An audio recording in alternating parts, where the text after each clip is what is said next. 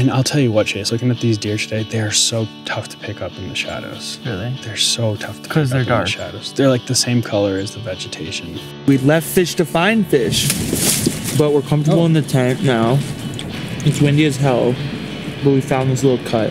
To tell you the truth, that means that you executed a good trigger pull. Yeah, I, I pulled slowly. you and me would disagree on this. You know, I, I am a capitalist, but I I do recognize that wildlife is managed as a collective good in the United States um, and is utilized as such. And I think that that's a very good thing for wildlife. They're not big enough to hop on and they're not small enough to step on. They're like the worst size rock. The devil made that rock pile. It was evil terrain. And yet we saw the most deer sign in that terrain. I mean, we are the apex predator.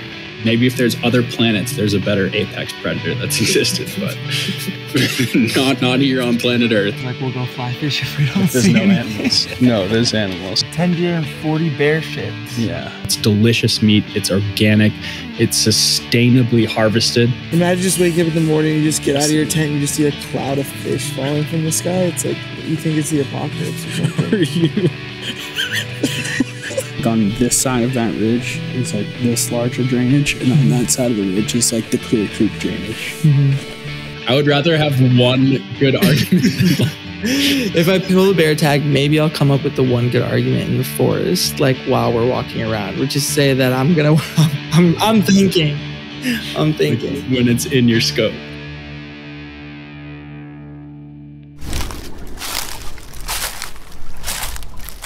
So what's up? Um, nothing, man. Busy as hell. the way your Busy palm is on your forehead right now, your fingers. What am I looking stressed out right now? Just a little bit. no, man. I'm I'm chill. This is like like this is the fun stuff. This is the time to relax.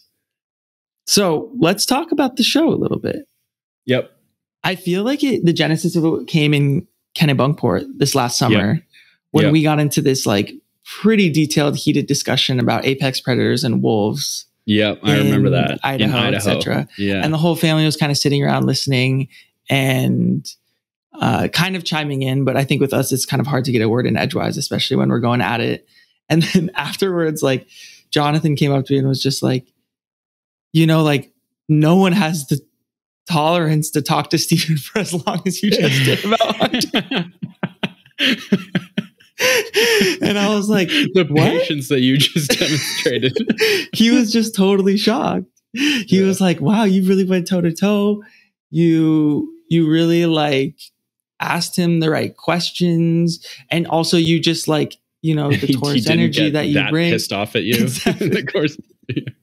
exactly." And so I was like, "Oh wow, if that was," I mean, and also I had the best time because we've been talking, we've been debating things for twenty years now since we were what nine years old. Yeah. Eight. And so it just and, and then on top of that, you were always trying to get me to go hunting with you. And I even tried to come in November and we had that Yeah. that misstep where you got the elk on like the first day and I was gonna come late and whatnot. And Yeah. so I just started thinking, like, wow, I do really want to learn more about this thing that you're so passionate about.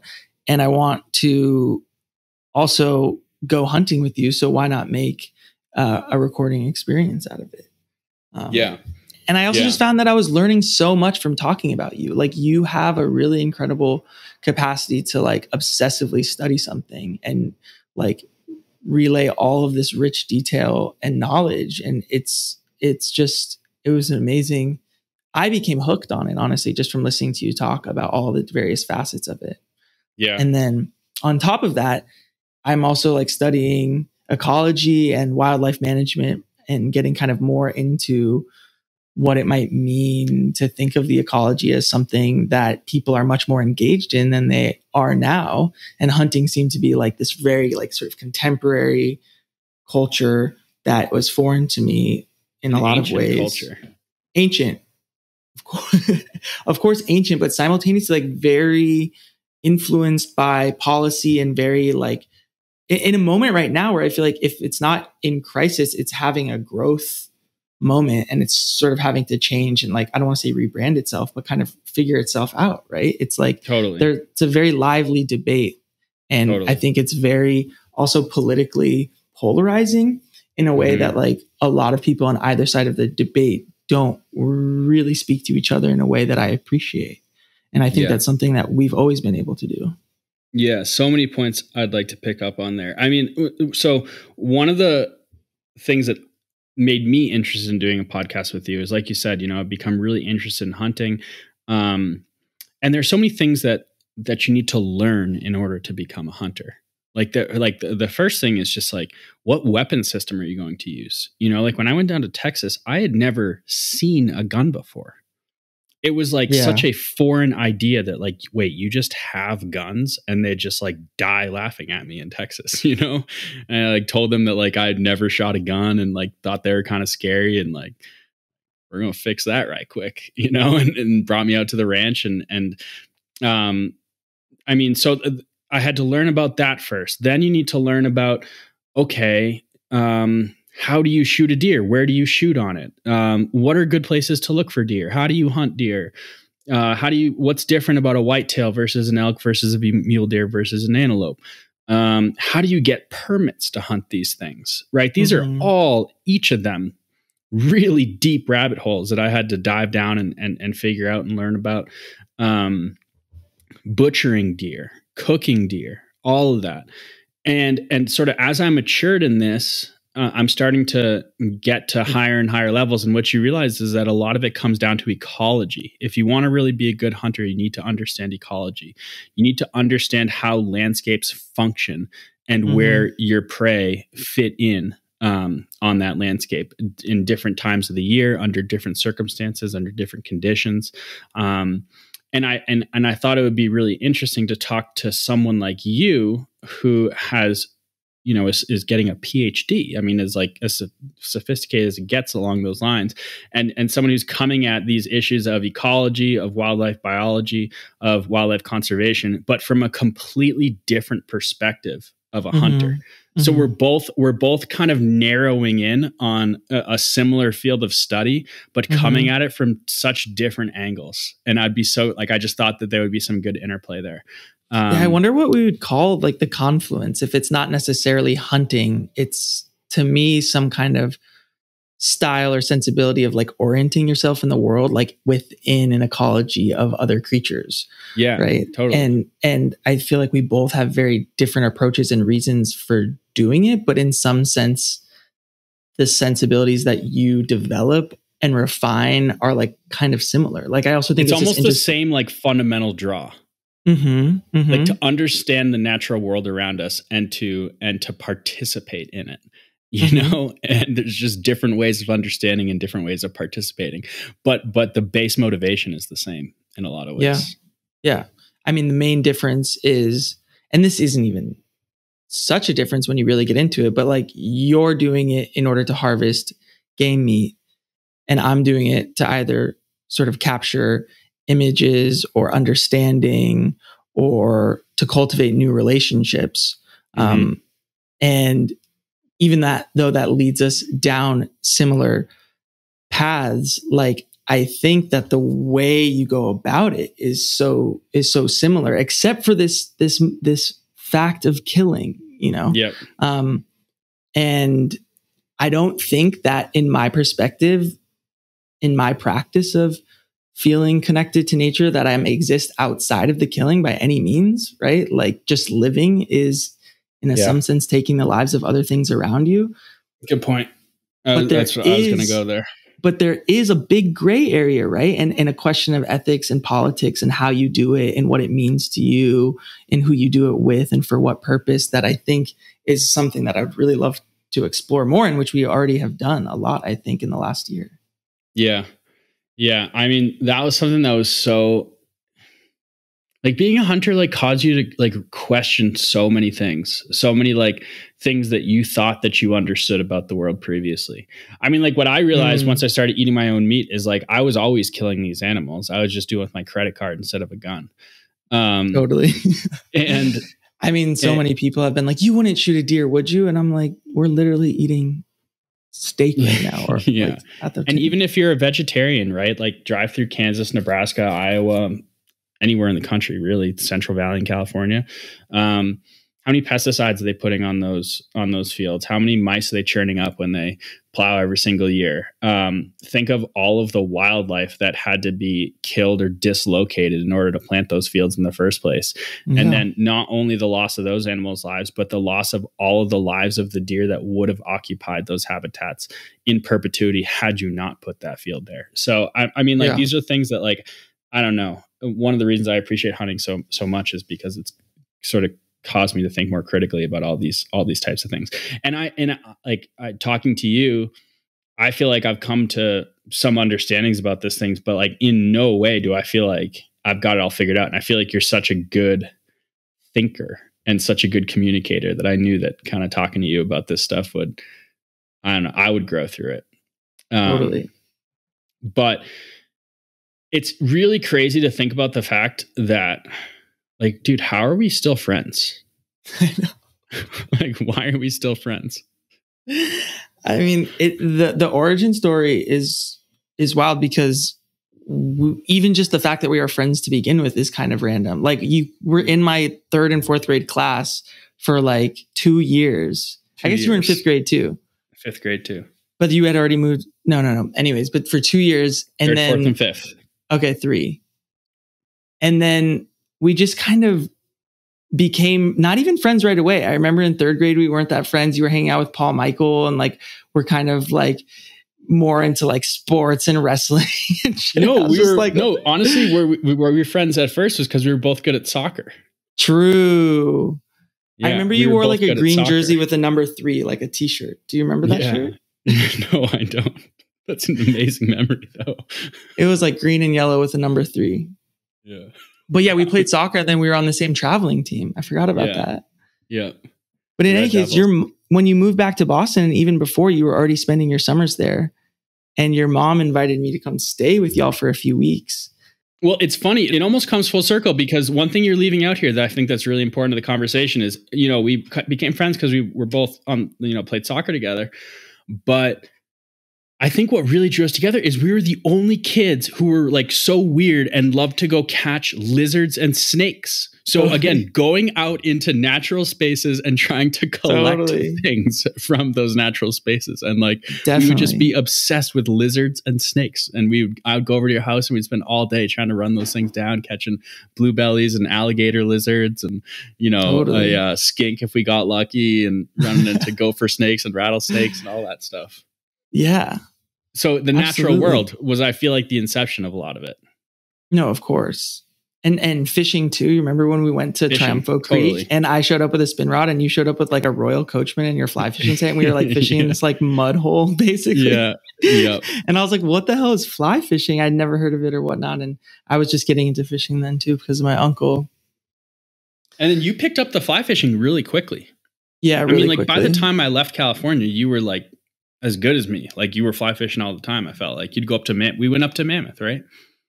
But that was after I feel like I was already introduced to it more by your dad on like the Wild River too. Yeah. Like that first year in fourth grade when we came back, when we like still weren't even able to tie our own knots. Your dad was like tying surgeon knots and stuff for us. yeah. Yeah.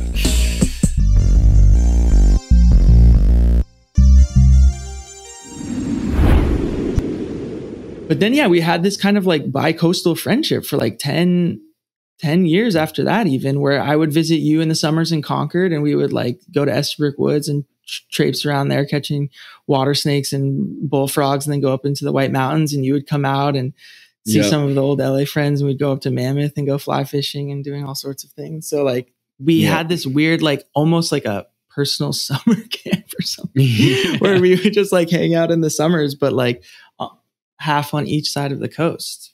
Yeah, I think it's so weird and like like I'm kind of proud of it because you know, I, I I still have you know a lot of great friends from the kids I went to school with, but I do feel like in general I could be better about keeping in touch with people. It's not like my greatest skill ability, you know, is like hey, I should check in with such and such. You know, it's just like not something that I really do, but I almost feel like that connection to the natural world like always was like a unique kind of connection that we had. Totally. Like a more Yeah. durable connection in some way. Yeah. Um I mean, we're so fucking different. Could you imagine us like being friends without it? Kind of like it's pretty amazing.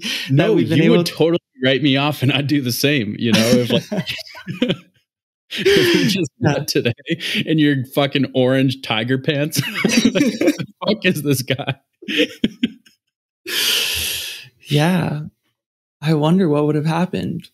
I also think that there's something about fishing or catching things generally or like being in nature with a plan that like really creates Yeah. this like mind meld that is different. It's like a different kind of relationship. Like in Kennebunkport this summer, going out with your brother and your dad on the boat and like seeing this like whole kind of like symphony of like driving the boat and casting to this side, casting to the right side, and like all the theorizing that's happening. Like you're about, on the left side, I'm on the right side. I'll fish low in the water column. You fish high in the water column. Like, Exactly. Just like, and being like, then constantly like troubleshooting the situation too, and being like, why aren't we catching anything here? Should we move here? Is it like the weather? Like maybe Yeah. we should switch up the rigs. It's like a constant like sharing of like a mind and like becoming this like family unit in order to like kind of like forage or catch things or just like understand the natural world. And I feel like there was something so intoxicating to me about like being a part of a group like that. Yeah, totally. I mean, it's it's primal. Like I, I would take it a step further to say that like I, I feel like I've heard a lot of theories about like the development of human intelligence itself.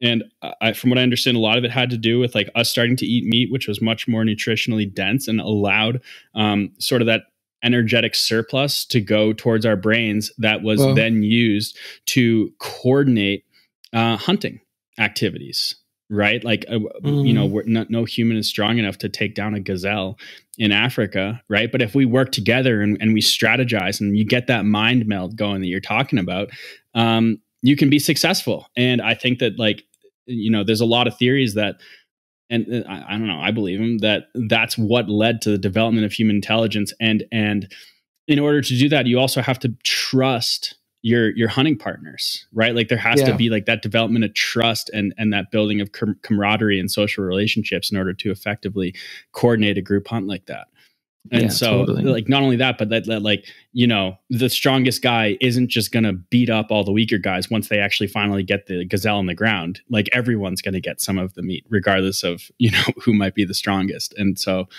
i think that like that connection is a uniquely uh, durable connection. And it's, it's i don't know it, sample size of one here but to me it, it, it checks out.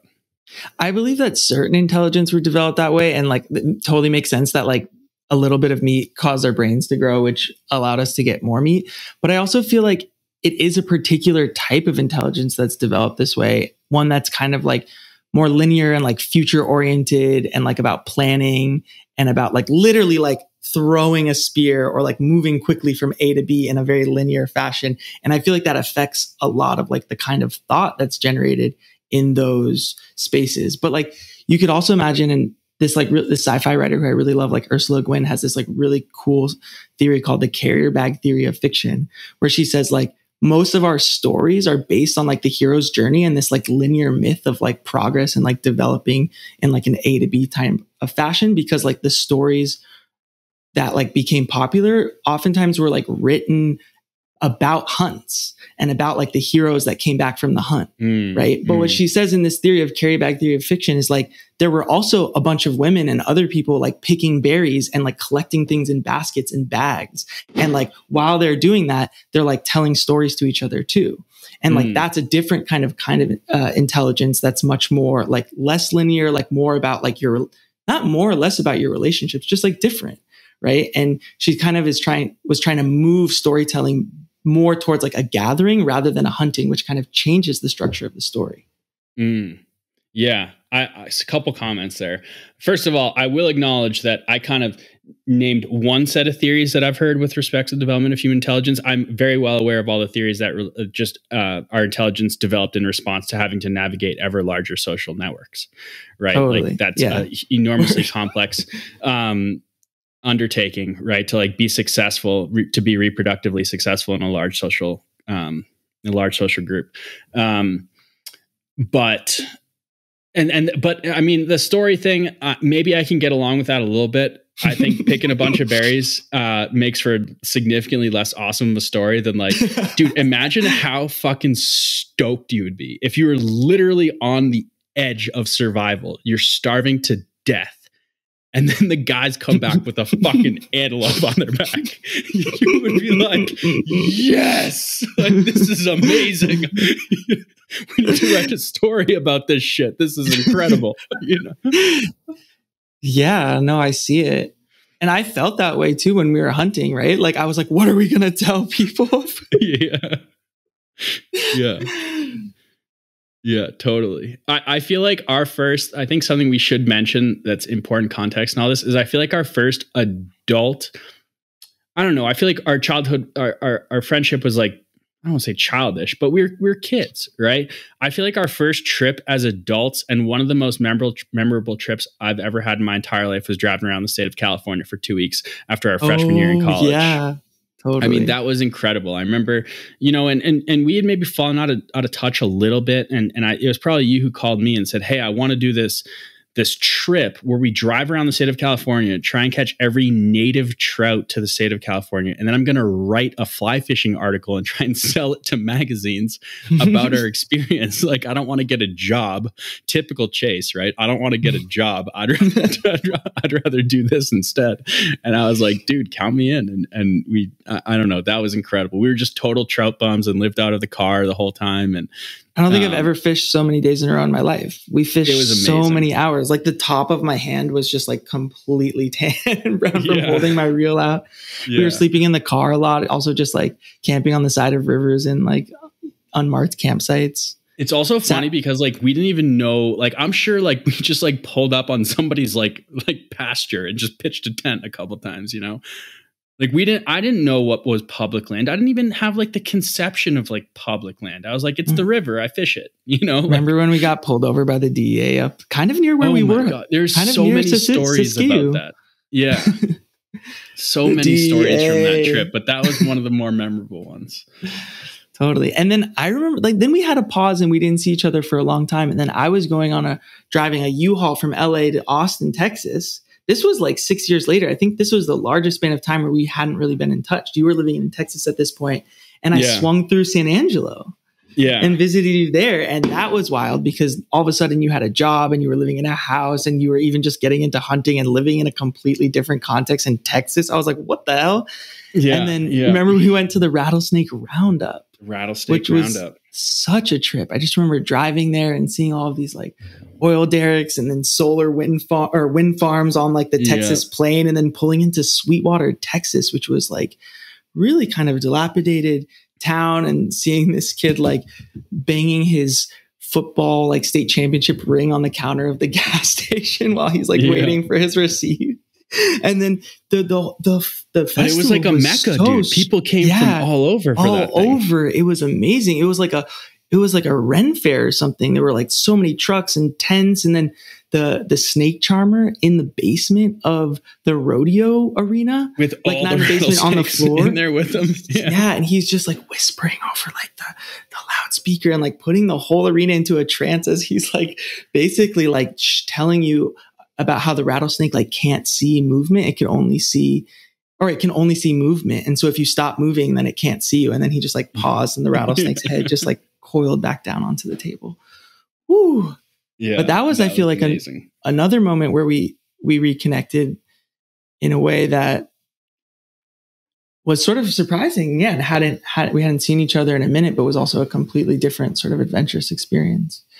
yeah. Ooh, there's been a minute. But yeah, the podcast has been cool. I feel like the hunting has kind of opened up a, a, a different dimension, but very much in line, kind of Yeah. with. We've always been very, you know what it is too? We've always been very goal oriented. Like we have not like had a friendship where it's like, hey, like, do you want to come over and chill? Like those words have never been said in our friendship before, ever. Like we're always like, we are gonna go catch a 28 inch striper, or like we are going to go catch a rattlesnake, or like we're Yeah. gonna go get a deer, or we're gonna go get a steelhead, or we're gonna go to the rattlesnake roundup, or you know, You know what's also super different about this is it doesn't feel competitive. except when we're steelhead fishing, I feel pretty competitive then. When we're steelhead fishing, yes, because we're like more on the same plane there. But like with this, it has felt super different too in a way because I feel like you're you're introducing me to like so many skills that I don't have just yet. and also hunting. It's I different. guess it does Hunting's feel definitely different. different. Like I would be more excited if you got a um, deer on our next trip. Like I Yeah. don't care. I, I mean, I'd love to get a deer, but if you got one, I would be like over the moon. Yeah, Now with steelhead, if you got a steelhead before me, I would be pissed. I would not be the least bit happy for you.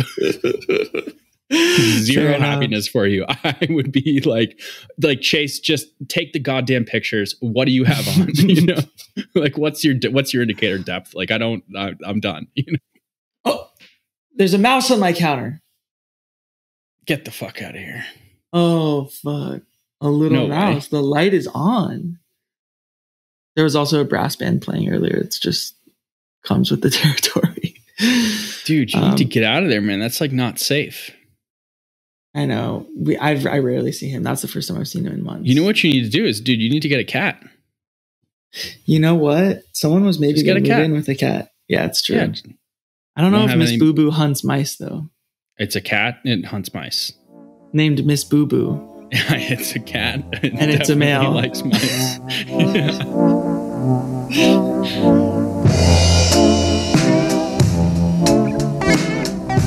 Just boondoggle. I'm into just boondoggle. But it's also nice to have. Yeah, it's not your boondoggle or the. Definitely not the boondoggle. Don't like not your boondoggle. You don't No. like it. New words, Too many words. fewer words. But maybe it would just like the full name would be not your boondoggle, and then people would just call it boondoggle. I just think that's too many words. We don't need that many words. All right, let's just go with boondoggle. I absolutely love the definition of that word. It is the best word ever. Work or activity that is wasteful or pointless, but gives the appearance of having value. Such a good word. Such an outstanding word. But I'm sort of pro boondoggle. Depending.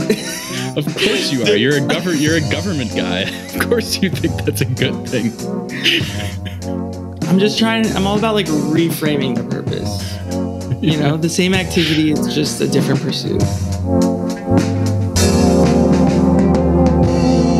right, so should we do it like I'm like, this is Stephen Winslow, and you're like, this is Chase Niesner, and this is Boondoggle.